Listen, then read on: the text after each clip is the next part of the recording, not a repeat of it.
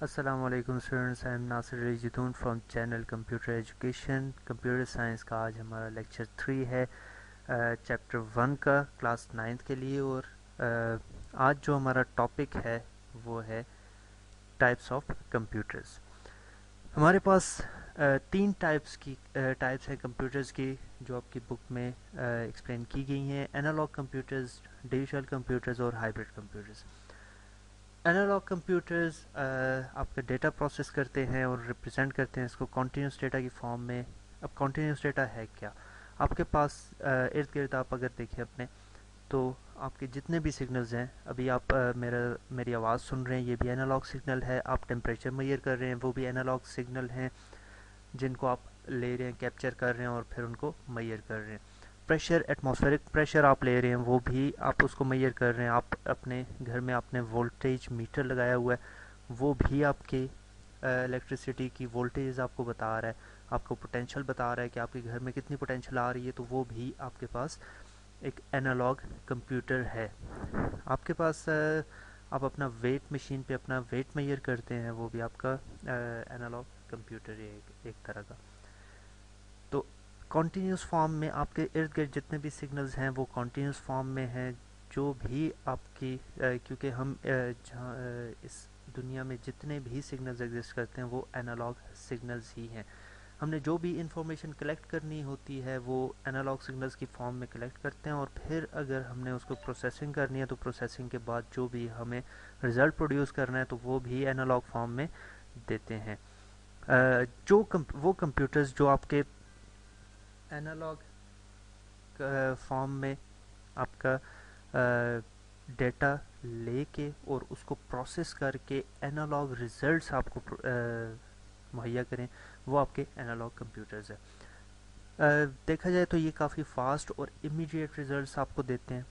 آپ اگر ریزلٹس کی کریکشن پہ جائیں تو کریکشن ان کی اپروکسیمیٹ ہے۔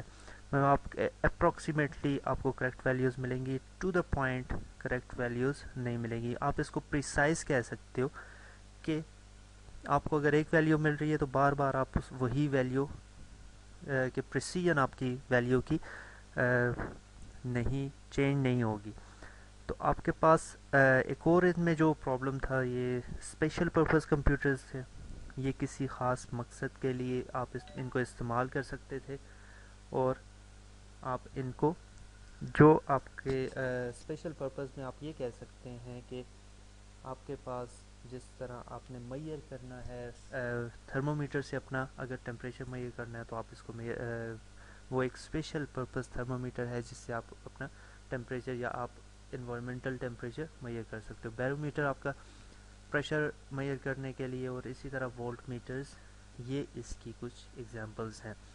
اس کے بعد آگے چلتے ہیں تو ڈیجیٹل کمپیوٹرز ہیں۔ ڈیجیٹل کمپیوٹرز آج کل جو جس دنیا میں ہم رہ رہے ہیں، یہ ایک ڈیجیٹل ورلڈ ہے۔ ہمارے ارد گرد آپ کے پاس جو ڈیوائسز ہیں، میں یہ نہیں کہوں گا کہ آپ کے پاس جو جو آپ کے ارد گرد جو سگنلز پروڈیوس ہو رہے ہیں، وہ تو انالاگ ہیں، لیکن جو ڈیوائسز یوز کر رہی ہیں، وہ سارے کے سارے ڈیجیٹل ویلیوز ہیں یا ڈیجیٹل سگنلز ہیں ڈیجیٹل کمپیوٹرز ہیں۔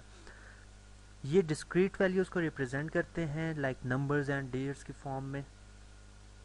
ایک ان کا جو پلس پوائنٹ کی یہ ریتھمیٹک کیلکولیشنز پرفارم کر کے ان میں اور پھر اس پہ لاجیکل ڈیسیجنز لیتے ہیں اپنے کنکلوژن تک پہنچنے کے لیے.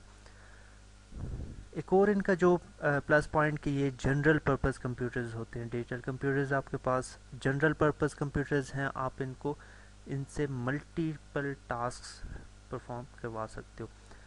ڈفرینٹ فیلڈز میں یوز ہوتے ہیں آپ کے بینکس میں ریسرچز میں، آپ کی یونیورسٹیز میں اسٹوڈنٹس یوز کرتے ہیں، آپ کے بزنسز میں یوز ہو رہے ہوتے ہیں۔ تو آپ کے ڈفرینٹ کاموں میں یہ یوز ہو رہے ہیں۔ تو پاورفل پروسیسنگ کیپیبلٹیز ہیں ان میں۔ ان کا میموری سائز اگر دیکھا جائے تو پرائمری میموری اینڈ ایون ان کی سیکنڈری میموری بھی آپ کی اسٹرانگ ہوتی ہے۔ کافی ہیوج ڈیٹا کو یہ اپنے پاس محفوظ رکھ سکتے ہیں۔ ان کو سپیڈ سائز اور میموری کی بیسس پہ چار ٹائپس میں ڈیوائڈ کیا گیا ہے۔ وہ ہمارے انشاءاللہ نیکسٹ لیکچر کا حصہ ہوں گے۔ Supercomputers microcomputers mainframe computers and minicomputers میں۔ اس کے بعد ہمارے پاس ہیں، آ جاتے ہیں ہائبریڈ کمپیوٹرز ہائبریڈ کمپیوٹرز یا ہائبریڈ نام ہی ہے کہ دو، جو دو ٹیکنالوجیز کو ملا کے بنائے گئے ہوں۔ اب دو ٹیکنالوجیز کون سی ڈیجیٹل اور اینالاگ کو؟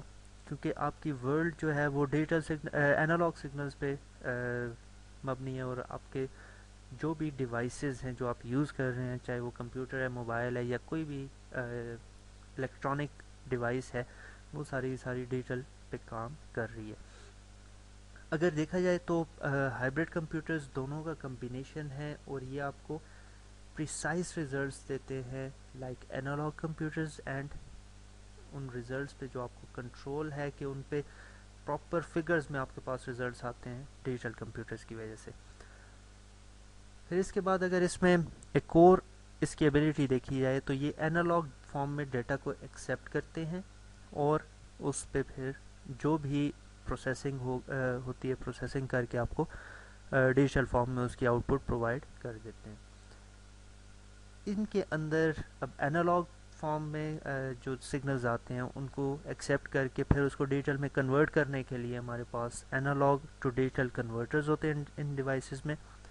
اینالاگ ٹو ڈیجیٹل کنورٹرز اس کو اینالاگ سے ڈیجیٹل میں کنورٹ کرتے ہیں اور جب آپ اس کو واپس ریزلٹ آپ نے جنریٹ کروانا ہوتا ہے تو وہ پھر اگر آپ نے باہر کی انوائرمنٹ کو دینا ہے ریزلٹ تو وہ پھر آپ کو ڈیجیٹل ٹو اینالاگ کنورٹر سے پاس کر کے اینالاگ فارم میں ریزلٹ دینا ہوگا۔ لیکن اگر آپ نے ریزلٹ اسکرین پہ لینا ہے تو وہ ڈیجیٹل فارم میں ہی آپ کو ویو ہوگی اور آپ کے پاس جس طرح اگر آپ، نارملی ہم بلڈ پریشر چیک کرتے ہیں اپنا، اگر آپ کے پاس ڈیجیٹل میٹر ہے، بلڈ پریشر کے اپریٹس ہے، تو آپ اس کو اپنی جو آم پہ یا کہیں پہ لگا کے آپ اپنا بلڈ پریشر چیک کرتے ہیں۔ تو وہ آپ کی باڈی سے اینالاگ سگنلز لے رہی ہے اور مشین آپ کو اپنی اسکرین پہ شو کروا رہی ہے آپ کے ڈیجیٹل ریزلٹس تو یہ ایک ہائبریڈ کمپیوٹر کی ایک ٹائپ ہوگی. پھر آپ نے موسٹلی آپ کے پیشنٹس کی جو مانیٹرنگ ہوتی ہے، چاہے ان کے ہارٹ ریٹ کی، چاہے ان کے برین کی ایکٹیویٹی کی، آپ ایم آر آئی مشینز دیکھ لیں. آپ باقی کوئی بھی روبوٹکس کی کوئی ایسی ٹیکنالوجی کے آپ کے پاس M R I C T scan machines تو یہ ساری کی ساری جو بھی مشینز ہیں، یہ آپ کی ہائبریڈ کمپیوٹرز کی ایگزامپلز ہیں۔